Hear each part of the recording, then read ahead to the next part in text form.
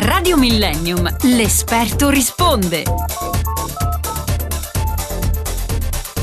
Siamo pronti a tornare ancora una volta nella mattina di Millennium a Buccinasco. Ci facciamo un giro a Buccinasco, andiamo. Guardi, vi do, vi do un indirizzo, via Don Minzoni 1. Cosa c'è in via Don Minzoni 1? C'è Fumistess, che è il negozio di Giuseppe che salutiamo. Giuseppe, ben ritrovato, buongiorno. Ciao, ciao a tutti. Entriamo con lui nel mondo dello svapare. Tra l'altro una premessa, io volevo fare una premessa, ti, ti, ti do una mano Giuseppe, perché eh, mi sono anch'io informato, ho cercato notizie e curiosità sul, sul mondo appunto di, di, dei fumatori, quelli veri, quelli incalliti purtroppo. Beh, sappiate che praticamente più del 90%, ma forse anche percentuali ancora più alte, di chi inizia a fumare lo fa solo per emulare qualcuno e lo si fa da giovani, da ragazzini, perché il compagno di scuola alle medie sta fumando e allora fumi anche tu. Quindi nessuno lo fa perché c'è bisogno di fumare, attenzione, quindi è proprio una cosa psicologica. Allora eh, diciamo che tu dai una ottima alternativa. Sì, sicuramente è un'ottima alternativa in quanto si sostituisce completamente questo tipo di, di mentalità che è legata alla psicologia. Poi è vero che c'è anche un ancoraggio proprio eh, di eh, gestualità, nel senso poi ci sono degli orari, c'è bene o male, nel senso in cui dopo il caffè uno vuole fumare la sigaretta, eccetera, eccetera. E quindi lo svapatore lo- lo- lo- personale viene